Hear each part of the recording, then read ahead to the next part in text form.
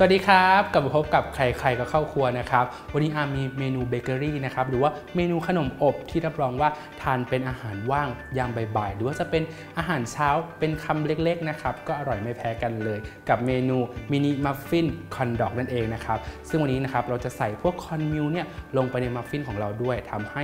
เมนูนี้นะครับอร่อยมากยิ่งขึ้นเลย เดี๋ยวเราไปดูส่วนผสมครับว่าเมนูนี้มีส่วนผสมอะไรบ้าง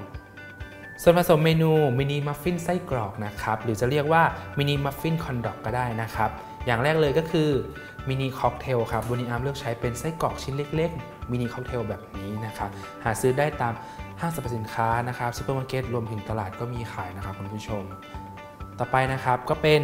แป้งสาลีอเนกประสงค์ครับ นมสดรสจืด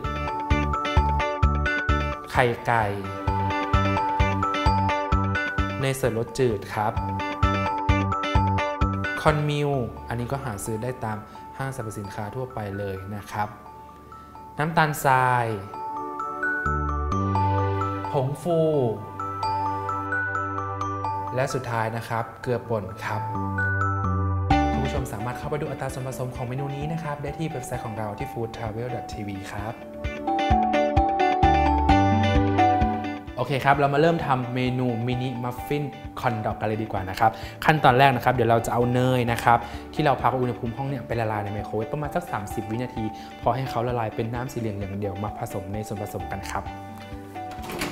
ใส่ลงไปเลยนะฮะ 30 วินาที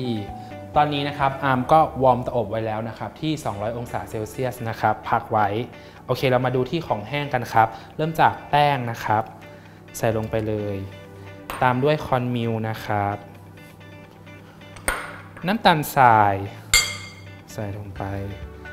มีเกลือป่นนิดหน่อยครับ วันนี้เราจะทำเป็นลักษณะแบบเป็นของว่างคาวนะครับ มีรสชาติออกเค็มๆหน่อย แล้วก็เป็นผงฟูนะครับ คนพอให้เข้ากัน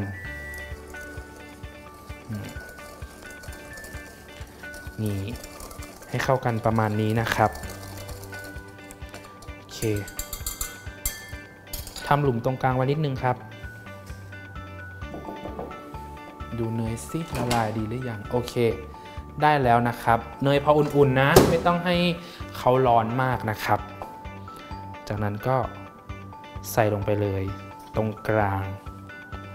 แบบนี้นะฮะแล้วก็มีไข่ไก่นะครับ คนก่อน พอให้เข้ากัน นี่ ได้ละ สีของเขาจะออกมาสีเหลืองๆแบบนี้นะครับ น่าทานมากๆเลย พอเริ่มข้นแบบนี้แล้ว ตามด้วยนมครับ นมนี้ค่อยๆใส่นะครับทีละครึ่ง เราจะทำส่วนผสมเนี่ยให้ค่อนข้างแบบข้นนิดนึงนะ ไม่ให้มันไม่ให้มันเหลวมากนะครับ คุณผู้ชม นี่คนไปเลย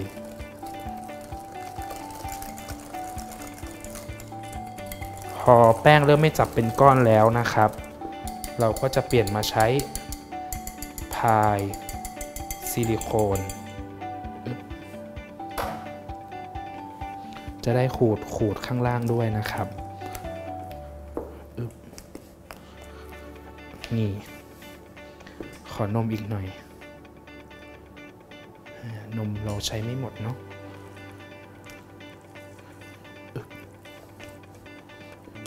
นี่ให้ข้นๆประมาณนี้นะครับ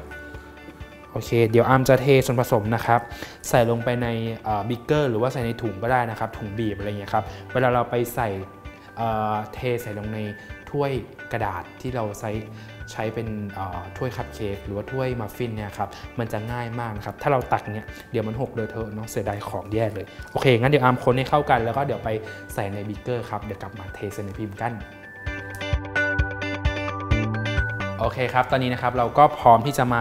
ใส่ลงไปในพิมพ์แล้วนะครับ ตอนนี้อาร์มเอาถ้วยกระดาษนะครับ ใส่ลงไปในพิมพ์หลุมของอาร์มเรียบร้อยแล้วอย่างนี้นะครับ วันนี้ไซส์ของเราก็ไม่ได้ใหญ่มากนะครับ เป็นไซส์เล็กๆเนาะ โอเค เตรียมไว้ก่อนนะครับ แต่ก่อนอื่นเราจะมาหั่นตัวไส้กรอกกันครับ เป็นมินิค็อกเทลของเราเนาะก็เดี๋ยวเราจะหั่นนะครับให้เป็นรูปหัวใจนะครับ ซึ่งวิธีการทำให้เป็นรูปหัวใจก็คือ เราจะหั่นเฉียงแบบนี้ครับ แล้วก็นำมุมทั้งสองอันเนี้ยมาประกบกันให้เป็นลักษณะแบบนี้ นี่ น่ารักไหมล่ะครับคุณผู้ชม แต่จริงๆแล้วบางที่เขาก็จะใช้ไส้กรอกใหญ่ๆเนาะแล้วก็มาหั่นครึ่ง แต่วันนี้เราอยากจะเพิ่มให้มันมีความ น่ารักนิดนึงนะครับ เรียกว่าเป็นกิมมิคของการทำอาหารของเราเลย นี่หั่นแบบนี้ แนะนำให้หั่นทีละชิ้นนะครับ แล้วก็ประกบกันเลย ถ้าหั่นแบบหมดแล้วก็มาหาคู่อย่างเงี้ยเดี๋ยวมันจะเข้าคู่กันยากนะครับ มันจะไม่ใช่คู่แท้กันนะคุณผู้ชม นี่เดี๋ยวค่อยมาจัดอีกทีแล้วกัน โอเค ถ้าเราได้ไส้กรอกเรียบร้อยแล้วนะครับ เดี๋ยวเราจะมา ใส่ลงไปในพิมพ์ของเราเลยนะครับ ซึ่งพิมพ์ของเราวันนี้นะครับ ก็รองถ้วยกระดาษไว้นิดนึงนะฮะโอเค ถ้าพร้อมแล้วก็มาเทลงในพิมพ์เลยนะครับ เราจะไม่ใส่พูนมากนะครับ ประมาณกลางๆพิมพ์ก็พอ เพราะว่าเดี๋ยวเขาจะพูนขึ้นมาอีก เล็กน้อยนะครับนี่เห็นไหมครับอามใส่บิ๊กเกอร์เทง่ายนะครับ หรือจะใส่ถุงบีบก็ได้ อันนั้นก็จะง่ายไปอีกแบบหนึง่งโอ้ อันนี้เยอะไปหน่อย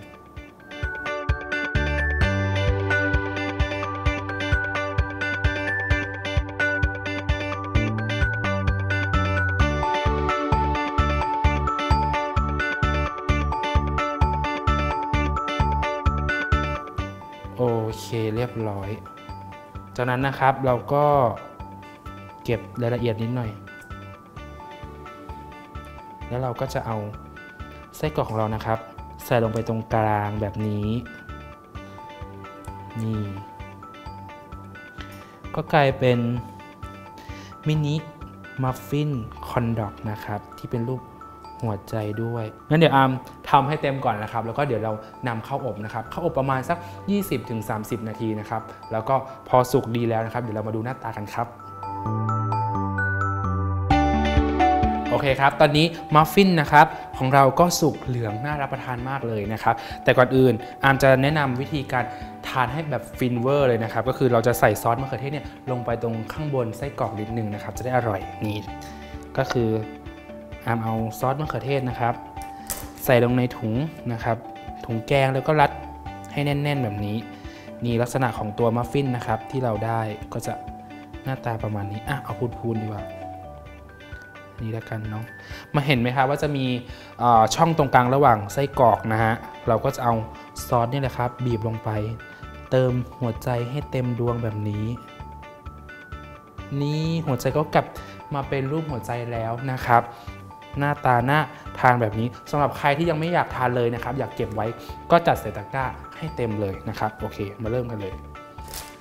ใส่ให้เต็มตะกร้าเลยนะครับ ทำไว้ตอนเย็นนี้พรุ่งนี้เช้าก่อนไปทำงานก็เออหยิบมาทาน รับรองว่าอร่อยเหมือนกันนะครับ นี่ใส่ลงไปปั๊บปั๊บปั๊บเรียบร้อยแล้วครับ นี่ก็ ทั้ง 2 แบบเลยนะครับทานเลยหรือว่าจะเก็บไว้ทานก็ได้แบบนี้นะครับโอเคสำหรับสูตรนี้นะครับ เพื่อนๆก็สามารถเข้าไปดูอัตราส่วนผสมนะครับ ได้ที่เว็บไซต์ของเราที่ foodtravel.tv นะครับ วันนี้อาขอตัวลาแล้ว สวัสดีครับ บ๊ายบายครับ